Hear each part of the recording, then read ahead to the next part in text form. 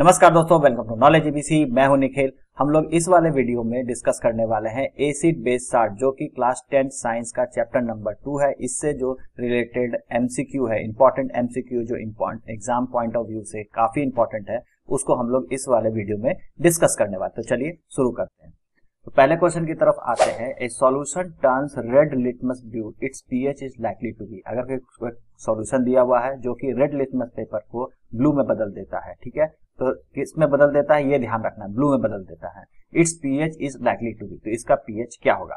देखिए, काफ़ी कंफ्यूजन होता है कि रेड लिटमस को ब्लू कौन सा एसिड बदलेगा कि बेस बदलेगा? तो इसको पहचानने का तरीका है बेस होता है। तो बेस का स्पेलिंग क्या होता है? बी ए सी ठीक है? तो बेस ब्लू कर देता है। ये एग्ज़ाम्पल बी से बेस हो गया बी से ब्लू हो गया, ठीक है? तो यहाँ पे एग्ज़ाम्पल पकड़ने का तरीका लिटमस पेपर को आइडेंटिफाई करने का तरीका है। जो बेस होगा, वही ब्लू करेगा, ठीक है? अब तो रेड कौन सा करेगा? तो एसिड रेड को करेगा। तो कंफ्यूजन होता है ना कि एसिड ब्लू करता है कि रेड करता है? बेस ब्लू करता है रेड करता है। तो इस तरह का कंफ्यूजन का एग्ज़ाम में अगर हो जाता है कभी कभी तो अगर आपको आता है तो सही बात है। अगर कंफ्यूजन हो जाता है तो याद रखने का तरीका कैसा है? ये ट्रिक है।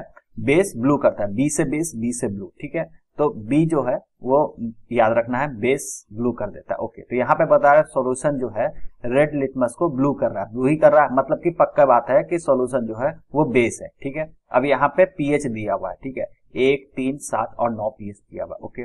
तो हम ये जानते हैं तो सेवन होता है न्यूट्रल सेवन से अगर नीचे ज़ीरो की तरफ़ जाएँगे तो एसिडिक सेवन से ऊपर अगर फोर्टीन की तरफ़ जाएँगे तो बेस तो सेवन से ऊपर का नंबर कौन सा है, इसमें देखना पड़ेगा। तो वन नहीं है थ्री नहीं है सेवन नहीं है नाइन है। तो नाइन नंबर यह आंसर हो जाएगा सीधा सीधी। ठीक है? इतना आसान क्वेश्चन था।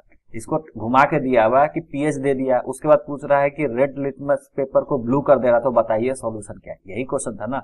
तो इस क्वेश्चन का सबसे अच्छा तरीका है कि क्या बना रहा है? ब्लू कर रहा है ना? ठीक है तो ब्लू कौन सा करेगा? बेस करेगा। बेस क्या होता है? सेवन से ऊपर वाला। सेवन से ऊपर वाला में यहाँ पे आप नाइन है नाइन कर सकते हैं। ठीक है।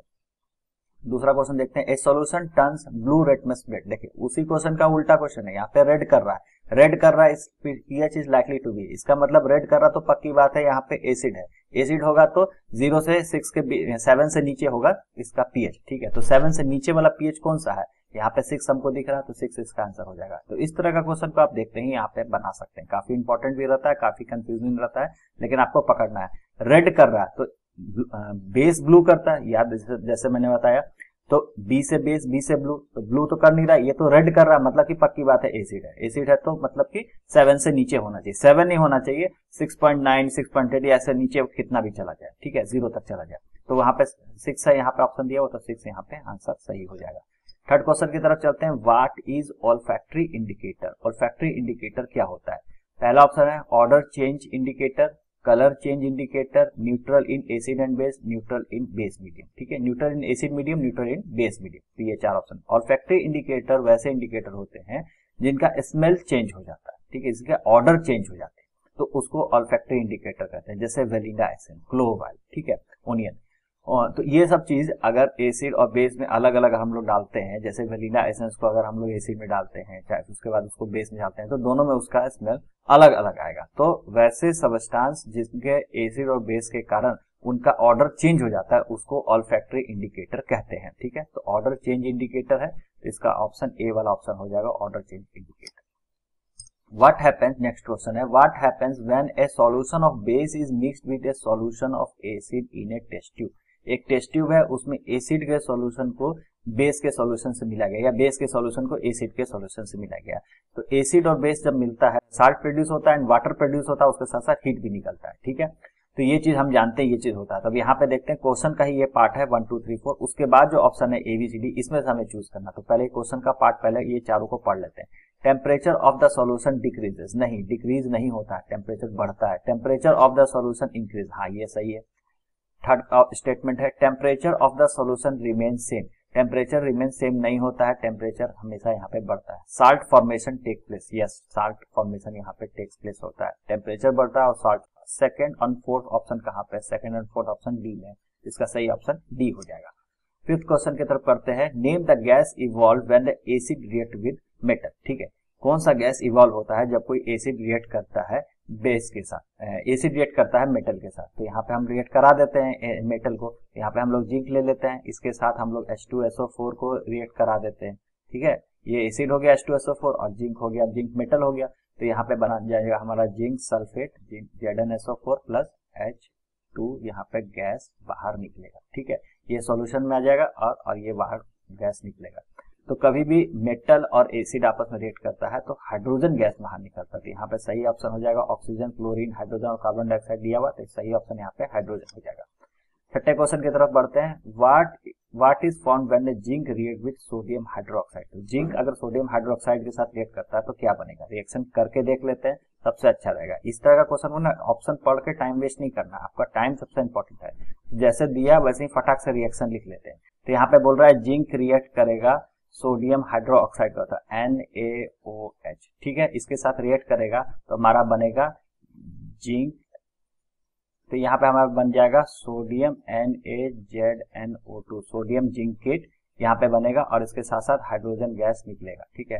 रिएक्शन को बैलेंस कर देते हैं, यहाँ पे टू एन हो जाएगा तो सोडियम सोडियम जिंकेट बन गया यहाँ पे और हाइड्रोजन गैस यहाँ पे बाहर निकलेगा। तो यहाँ पे हमारा ऑप्शन हो गया। ऑप्शन जो बी है sodium zincate and hydrogen gas ये दोनों जो निकलेगा, यहाँ पे हमारा प्रोडक्ट बन रहा है तो ऑप्शन यहाँ पे बी हो जाएगा। ठीक है? इस तरह का मैंने पूरा ऑप्शन पढ़ने की ज़रूरत ही नहीं है। डायरेक्ट आपको पढ़ना है कौन सा आपका रिएक्शन लिख लो और रिएक्शन में क्या प्रोडक्ट बन रहा है, वो आप लिख के जाओ। ठीक है? तो इस तरह से यहाँ पे इस टाइप के क्वेश्चन को बनाना अगले क्वेश्चन की तरफ़ बढ़ते हैं। What will happen when excess of carbon dioxide pass through the solution containing calcium carbonate. Calcium carbonate के सॉल्यूशन है, उसमें excess of carbon dioxide pass होगा। तो क्या बनेगा? आपका ऑप्शन यहाँ पे हो जाएगा calcium oxide is form calcium hydroxide is form calcium bicarbonate is form no reaction take तो इस तरह का क्वेश्चन है तो रिएक्शन ही सीधे लिख लेते हैं, ठीक है? तो कैल्शियम कार्बोनेट था, ठीक है? C A C O three ये excess calcium carbonate in water था, ठीक है? इसमें एक्सेस ऑफ़ कार्बन डाइऑक्साइड को पास किया गया, ठीक है? कैल्शियम कार्बोनेट था, जो कि वाटर में था, ठीक है? या एच में था। इसमें एक्सेस ऑफ़ कार्बन डाइऑक्साइड हम लोग बाहर से डालेंगे। तो कौन सा रिएक्शन बनेगा? तो यहाँ पे बनता है कैल्शियम बाइकार्बोनेट ठीक है? C A H C O three ठीक है?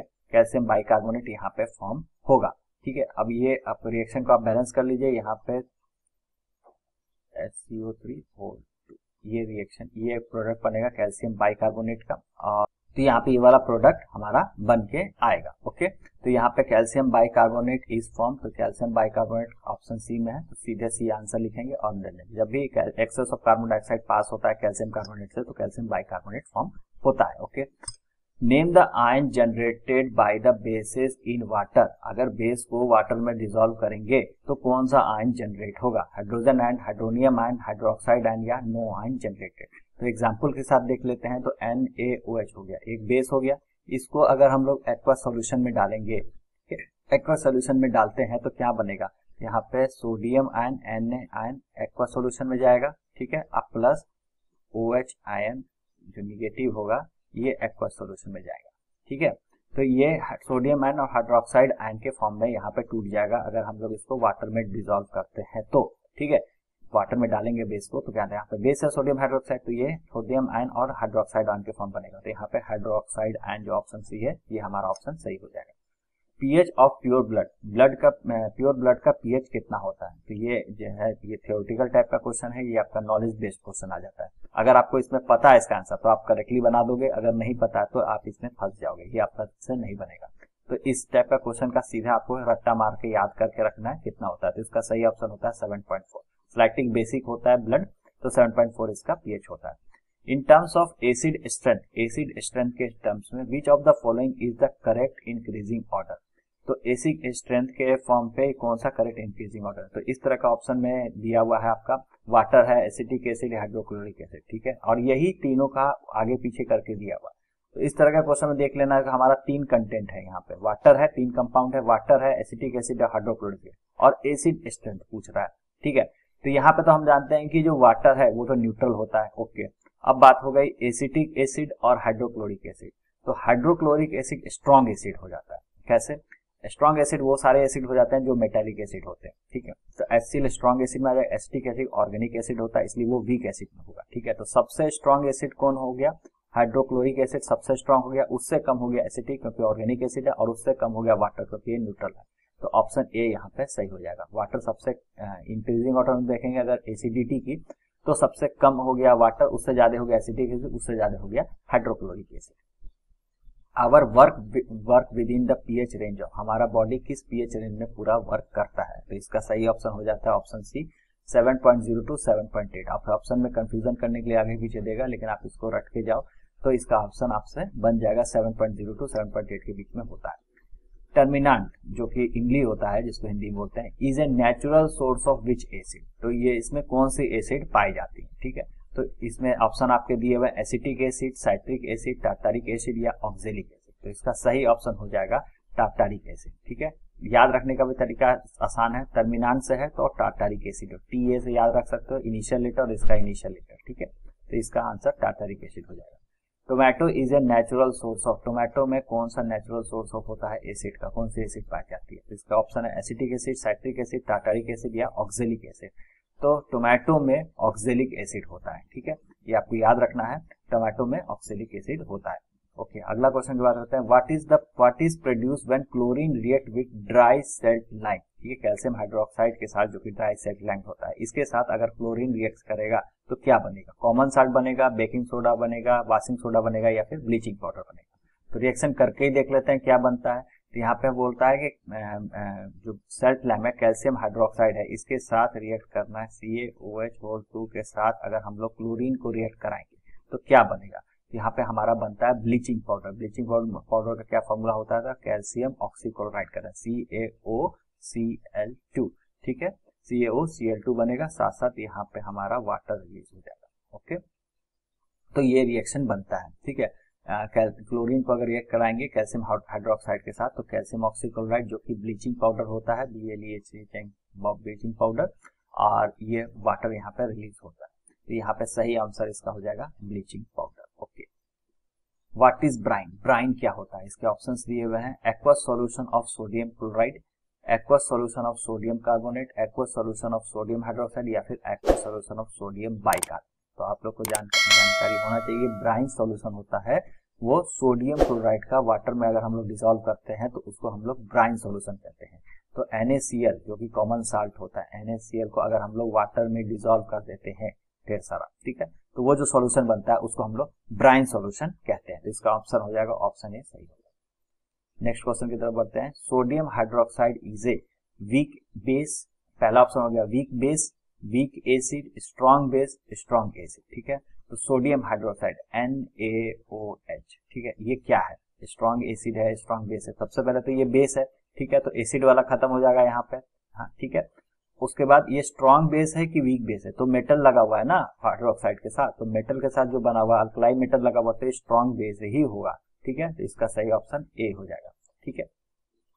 अब बात करेंगे mild non corrosive base salt is यहाँ पे आप टर्म पे ध्यान दीजिए। नॉन कोरेसिव बेसिक साल्ट तो सबसे पहले यहाँ पे देखना है साल्ट होना चाहिए बेसिक भी होना चाहिए और नॉन कोरोसिव भी होना चाहिए। ऐसा कौन सा एग्ज़ाम्पल आपसे ऑप्शन है calcium hydroxide C H whole two sodium chloride N sodium hydroxide N और sodium bicarbonate N H CO three ये चार ऑप्शन दिए हुए हैं तो इसमें नॉन कोरोसिव बेसिक साल्ट तो यहाँ बोल रहा है तो साल्ट होना चाहिए, ठीक है? तो कैल्शियम हाइड्रोक्साइड तो साल्ट है नहीं, ये तो बेस है, ये तो होगा नहीं. एन ये भी बेस है, ये तो होगा नहीं. अब बच गया सोडियम क्लोराइड और सोडियम बाइकार्बोनेट ये दोनों हमारा साल्ट है, ठीक है? लेकिन यहाँ पे स्ट्रॉन्ग एसिड और स्ट्रॉन्ग बेस के साथ रिएक्ट करके जो साल्ट बनता है, वो न्यूट्रल बन जाता है। लेकिन स्ट्रॉन्ग एसिड और वीक बेस के साथ जो रिएक्ट करके बनता है, वो स्लाइटली एसिडिक एसिडिक साल्ट बन जाता है। और वहीं पे स्ट्रॉन्ग स्ट्रॉन्ग बेस और वीक एसिड के साथ बनता है। तो स्लाइटली बेसिक साल्ट वो बन जाता है। तो यहाँ पे आप ध्यान दीजिए NaCl है strong acid NaOH strong base हो गया और हाइड्रोक्लोरिक एसिड स्ट्रॉन्ग एसिड ये दोनों के साथ मिलकर बना है, इसलिए ये थोड़ा सा न्यूट्रल होगा। लेकिन यहाँ पे बात करेंगे सोडियम बाइकार्बोनेट सोडियम बाइकार्बोनेट बनने के लिए जो बाइकार्बोनेट हाइड्रोजन बाइकार्बोनेट है, वो बीक बेस में आ जाता है बीक एसिड में आ जाता है। इसलिए सोडियम बाइकार्बोनेट जो हो जाता है, ये नॉन कॉरेजिव भी होगा और बेसिक होगा। थोड़ा सा ये बेसिक नेचर यहाँ पे शो करेगा, क्योंकि यहाँ पे स्ट्रॉन्ग बेस लगा हुआ है वीक एसिड है। तो स्ट्रॉन्ग बेस होने के कारण थोड़ा सा ये बेसिक साल्ट फॉर्म करेगा। तो इसका सही आंसर हो जाएगा option D sodium bicarbonate tooth enamel is made up of tooth enamel क्या चीज़ का बना होता है? Calcium phosphate calcium carbonate calcium oxide या फिर पोटेशियम का। तो इसका सही आंसर हो जाएगा कैल्शियम फॉस्फेट का बना होता है टूट इनामल हमारा टूथ का जो इनामल होता है, वो कैल्शियम फॉस्फेट का बना होता है। Thank you very much video आपको अच्छा लगा तो लाइक शेयर और सब्सक्राइब करना भूलें। मिलते हैं अगले वीडियो